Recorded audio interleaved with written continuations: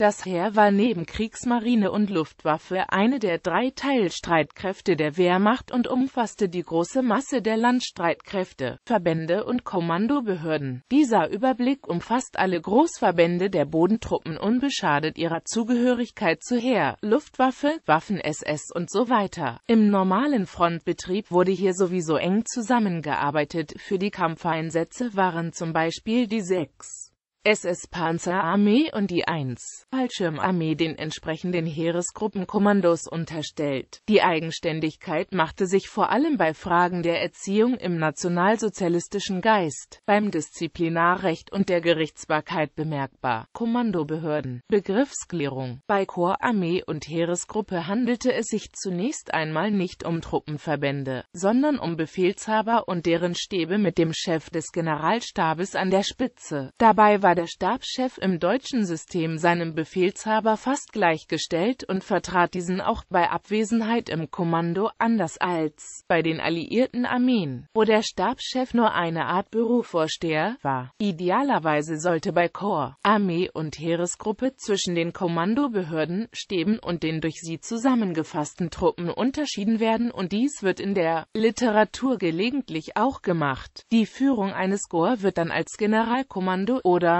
höheres Kommando, mit dem kommandierenden General an der Spitze bezeichnet. Eine Armee wird von einem Armeeoberkommando mit seinem Oberbefehlshaber geführt, eine Heeresgruppe von einem Heeresgruppenkommando und dem Ob. In der Praxis ist diese Unterscheidung eher selten notwendig, jedoch muss darauf hingewiesen werden, dass in bestimmten Fällen die Beachtung des Unterschieds unbedingt erforderlich ist, nämlich immer dann, wenn eine Heeresgruppe neu aufgestellt oder aus der Front herausgezogen wurde. So wurde zum Beispiel am 27. November 1942 im Süden der Ostfront nach dem Durchbruch der Russen die Heeresgruppe Don eingeschoben. Hierbei handelte es sich nicht um neue Kampftruppen, sondern lediglich um den umbenannten Stab plus ob der 11. Armee, deren Truppen wiederum auf andere Armeen verteilt wurden, die die Führung von vier Armeen der Heeresgruppe B übernahmen. Als die Heeresgruppe B am 9. Februar 1943 aus der Front herausgezogen wurde, bedeutete dies lediglich, dass der Stab nebst Oberbefehlshaber in die Heimat verlegt wurde und die Truppen auf die Heeresgruppen Mitte und Don verteilt wurden. Ähnliches gilt für sämtliche Neuaufstellungen von Heeresgruppen, die besonders ab 1943 plötzlich inflationäre Ausmaße erreichten. Es handelte sich jeweils nicht um neue Truppen, sondern nur um neu aufgestellte Kommandobehörden, denen nur gelegentlich eine geringe Anzahl neuer Verbände zugeführt wurde. Ähnlich besaß zum Beispiel die im November 1944 an der Schweizer Grenze aufgestellte sogenannte 24 Armee zu keinem Zeitpunkt eigene Kampftruppen, weswegen die terminologisch einwandfreie Bezeichnung auch nur AOK 24 lauten kann. Abteilungen in den Führungsstäben des Heeres Die Generalstabs- bzw. Stabsabteilungen waren auf allen Ebenen gleich gegliedert. Folgende Bezeichnungen wurden dabei verwandt. Heeresgruppen Das Heer verfügte mit Stand vom 3. Januar 1939 über sechs Heeresgruppenkommandos, denen die Armeekorps und gegebenenfalls weitere Stäbe und Truppen unterstanden. Die Heeresgruppenkommandos wurden alle bei Mobilmachung am 26.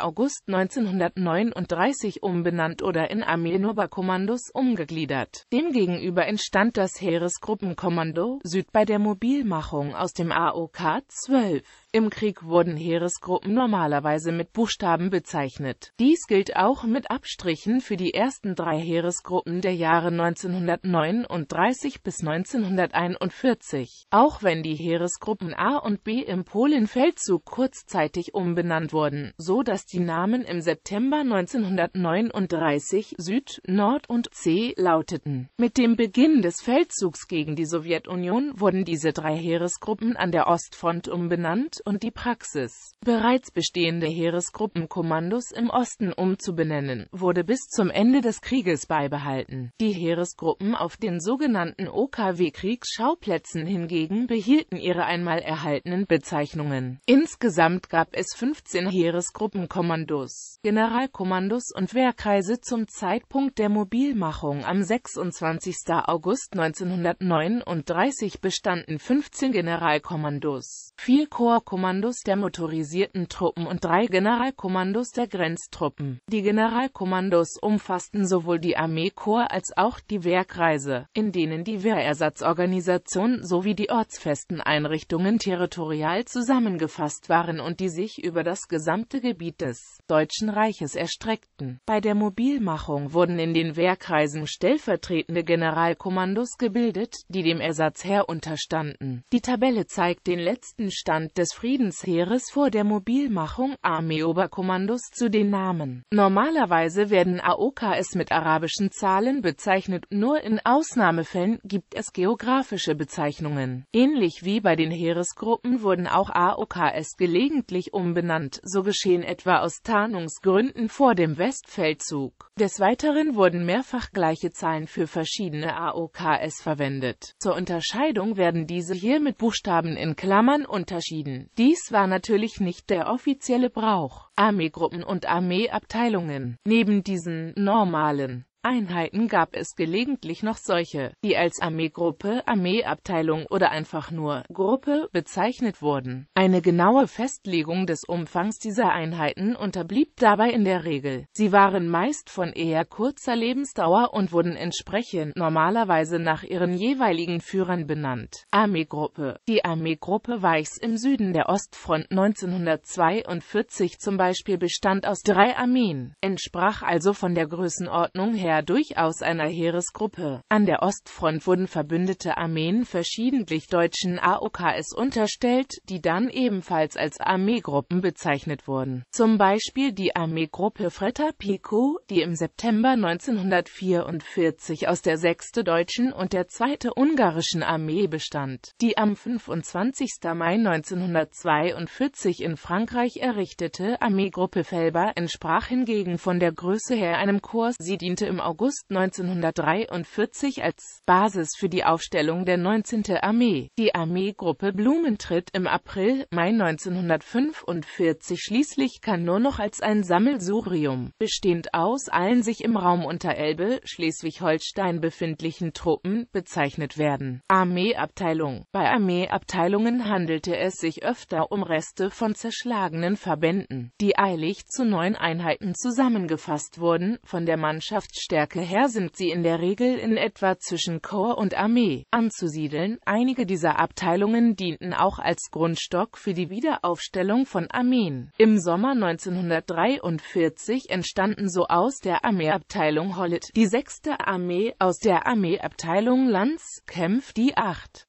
Armee. Demgegenüber war die Armeeabteilung A ein regulär aufgestellter Verband, der im September 1939 zur Sicherung der Westgrenze bei Aachen eingesetzt wurde, bevor er durch das AOK 4 abgelöst wurde. Oberbefehlshaber der Kriegsschauplätze Diese waren in der Kriegsspitzengliederung ursprünglich nicht vorgesehen. Ihre in der Regel zumindest anfangs mit einem Heeresgruppenkommando gekoppelten Befugnisse entstanden. Als die Tätigkeit des Oberkommandos Kommandos des Heeres auf den östlichen Kriegsschauplatz beschränkt wurde und die Führung auf den übrigen Kriegsschauplätzen auf den Wehrmachtführungsstab unter General Jodl direkt überging. Als Oberbefehlshaber Ost oder West bezeichnete Kommandos hatte es schon nach Abschluss der Kämpfe in Polen und im Westen gegeben, die allerdings keine Kampf-, sondern Besatzungstruppen führten. Das Heeresgruppenkommando Süd unter Go von Rundstedt fungierte vom 3. Oktober bis 20. Oktober 1909 und 30 als ob Ost. Seine Nachfolger mit jeweils eigenen Stäben waren Go Blaskowitz und Gen von genannt bevor die Dienststelle am 21. Juli 1940 in Militärbefehlshaber im Generalgouvernement umbenannt wurde und damit einem rein territorialen Wehrkreiskommando gleichgestellt wurde. Nach dem Westfeldzug war es wieder Rundstedts Heeresgruppenkommando, früher Süd, jetzt A, das am 10. Oktober 1940 die Aufgabe Aufgaben des Oberbefehlshabers übernahm. Als die HGRA dann am 15. März 1941 zur Vorbereitung des Feldzuges gegen die Sowjetunion nach Schlesien verlegt wurde, übernahm die neu aufgestellte HGRD die Funktion des Ob-West.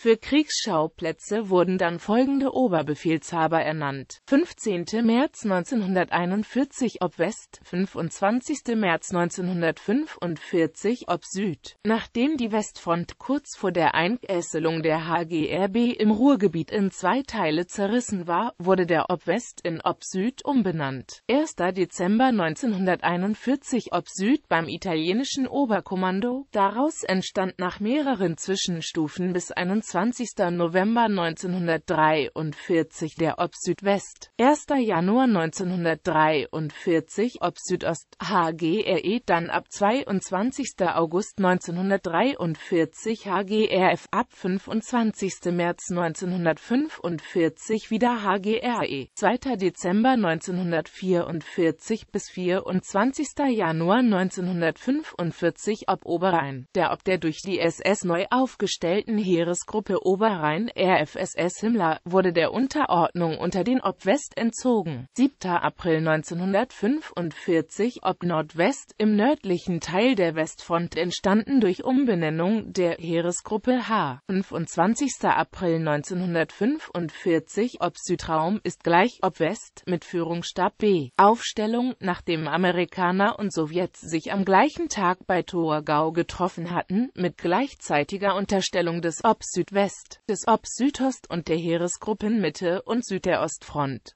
25. April 1945 ob Nordraum vorgesehen Großadmiral Dönitz aber die Führungsaufgabe des Führungsstabes A unter Großadmiral Dönitz tritt vorläufig nicht in Kraft.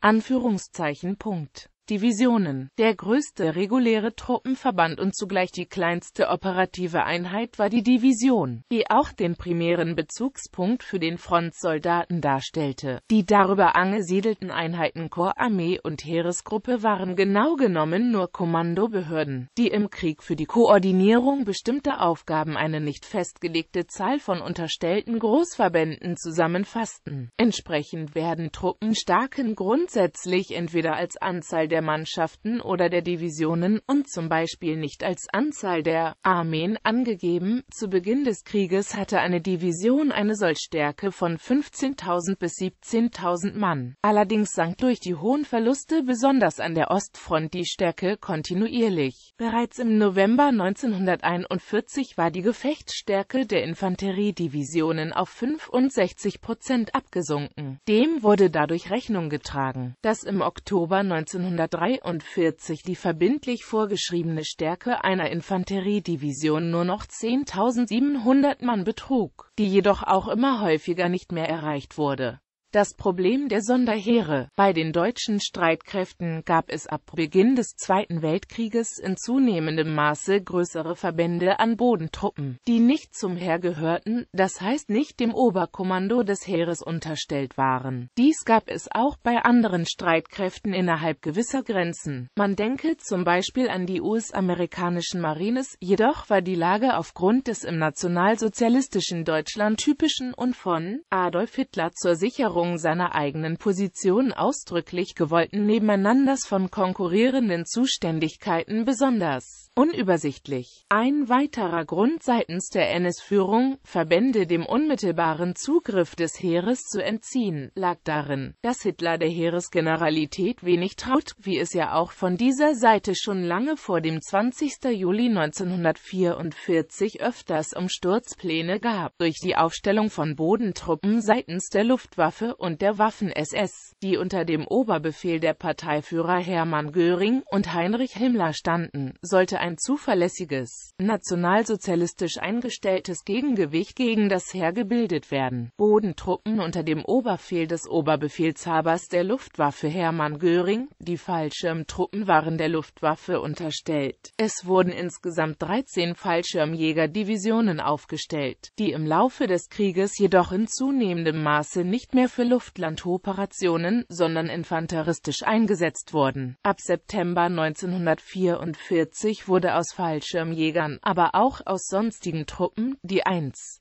Fallschirmarmee für den Kampf am Niederrhein aufgestellt. Daneben gab es seit Sommer 1942 aus überzähligem Personal der Luftwaffe gebildete Verbände für den Erdkampf, die sogenannten Luftwaffenfelddivisionen Insgesamt wurden so 21 Divisionen aufgestellt. Da diese für Infanterieeinsätze kaum ausgebildet und daher nur bedingt einsatzfähig waren, wurden sie nach relativ kurzer Zeit und unnötig hohen Verlusten in das Heer übernommen. Zusätzlich existierte als besondere Formation die Division Hermann Göring, die sogar mit Panzern ausgestattet wurde. Im letzten Kriegsjahr wurde hieraus noch ein komplettes Fallschirmpanzerkorps aufgestellt. Insgesamt wurden 31 30 Flak-Divisionen und sieben Flak-Korps-Kommandos bei der Luftwaffe aufgestellt, die oftmals gemeinsam mit den Heeresverbänden operierten und deren Kommandobehörden unterstanden. Außerdem wurden noch drei Luftwaffengeneräle, Generalfeldmarschall Albert Kesselring als ob Süd, Südwest, West, Südraum, Generaloberst Alexander Löhr als ob der Heeresgruppe E und zeitweiliger ob Südost und Generaloberst Kurt Student als ob der erste Fallschirmarmee und der Heeresgruppen H und Weichsel mit hohen Kommandos über Heerestruppen betraut. Bodentruppen unter dem Oberfehl des Reichsführers SS Heinrich Himmler. Gleich zu Beginn des Zweiten Weltkrieges ging die SS dazu über, die Waffen-SS als eigene kämpfende Truppe aufzubauen. Wurden zu Beginn nur Freiwillige aufgenommen. So ging man ab 1943 dazu über, auch Wehrpflichtige statt zur Wehrmacht in die Waffen-SS einzuziehen. Gegen Ende des Krieges bestand diese bei einer erste Stärke von über 600.000 Mann aus 38 Divisionen, 16 Generalkommandos und einem Armeeoberkommando, dem SS-Panzer AOK 6. formell dem Geschäftsbereich des Innenministeriums zugeordnet, stand die Waffen-SS als Streitmacht tatsächlich nicht nur außerhalb der Wehrmacht, sondern mit ihrer Ausrichtung ganz auf die Person Hitlers sogar außerhalb des Staates. Neben SS-Oberstgruppenführer Sepp Dietrich dem Ob der 6. SS-Panzerarmee wurden noch zwei weitere SS-Kommandeure mit höheren Kommandos über Heerestruppen betraut. SS-Oberstgruppenführer Paul Hauser und SS-Obergruppenführer Felix Steiner. Bereits Anfang Juli 1944 hatte Hitler die Aufstellung von 15 sogenannten Grenadierdivisionen befohlen, die nach dem 20. Juli in Volksgrenadierdivisionen umbenannt wurden. Diese nationalsozialistische Volksarmee des Führers und seines Reiches wuchs rasch auf rund 50 20 Divisionen an. Daneben wurden noch weitere Volksverbände aufgestellt wie zum Beispiel das Volksartilleriekorps. Mit Erlass vom 25. September 1944 ordnete Hitler die Bildung des Volkssturms an. Auch dieser war weder eine Einrichtung der Wehrmacht noch des Staates überhaupt, sondern eine solche der Partei. Die Aufstellung fiel in die Zuständigkeit der Gauleiter. Für die militärische Organisation war Himmler zuständig. Von deutscher Seite aus galten die Angehörigen des Volkssturms rechtlich zwar als Soldaten, von den sowjetischen Streitkräften wurden sie jedoch nicht selten als Partisanen behandelt. Um das Oberkommando des Heeres noch weiter zu schwächen, gab es seit Dezember 1941 als Hitler den Oberfehl über das Heer übernahm, eine Unterteilung in Kriegsschauplätze des Oberkommandos der Wehrmacht als auch in solche des OKH, die bereits mit dem Unternehmen Weserübung gegen Norwegen 1940 ihren Anfang genommen genommen hatte und jetzt zu einer endgültigen Einrichtung wurde. Der Generalstab des Heeres wurde auf die Ostfront beschränkt. Für alle übrigen Kriegsschauplätze war der Chef des Wehrmachtführungsstabes im OKW, Alfred Jodl, verantwortlich